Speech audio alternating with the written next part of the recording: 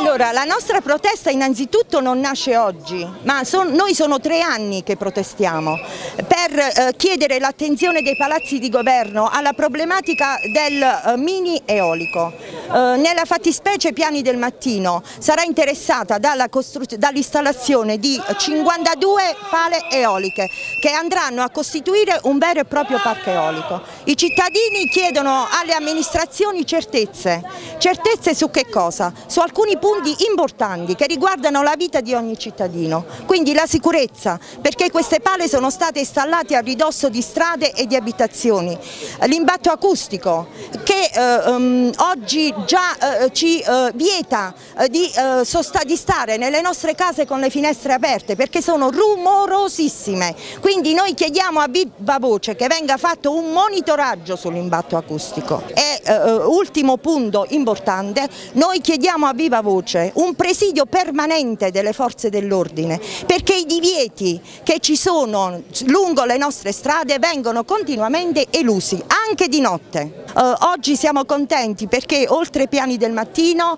eh, abbiamo visto che la protesta si sta allargando. Eh, sono intervenuti il costituendo comitato di Montocchino, eh, di Oppido Lucano, eh, di Contradabotte, eh, quindi la problematica non è solo di piani del mattino.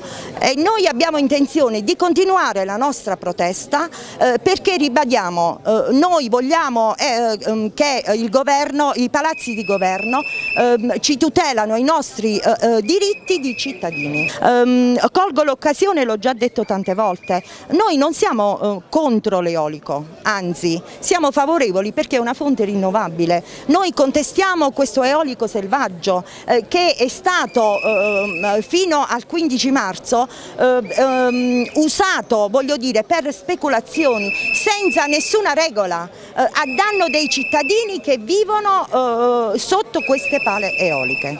Oggi al Municipio di Potenza la consegna delle tessere elettorali e delle chiavi, il senso di questa protesta?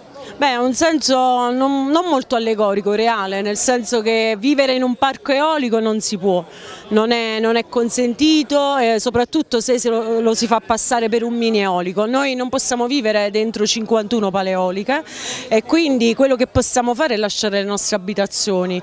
Per non arrivare a fare questo cerchiamo un'interlocuzione ma eh, ci sembra che il tempo insomma, sia veramente pochissimo, è rimasto pochissimo, una devastazione territoriale una non sensibilità non solo per l'ambiente ma anche per le persone e uno sfregio a quello che è invece tutelato dalla Costituzione e dal codice dei beni culturali che è il paesaggio di cui dovremmo vivere soprattutto la Basilicata. Noi chiederemo la sospensione dei lavori in autotutela così come chiediamo l'immediato fermo per le pale che sono uh, da installare ma chiediamo anche che su quelle già installate ci sia un monitoraggio acustico. Sappiamo però che queste richieste no, oggi non verranno sicuramente esaudite per cui da tre mesi, eh, notte e giorno siamo in strada, continueremo a farlo.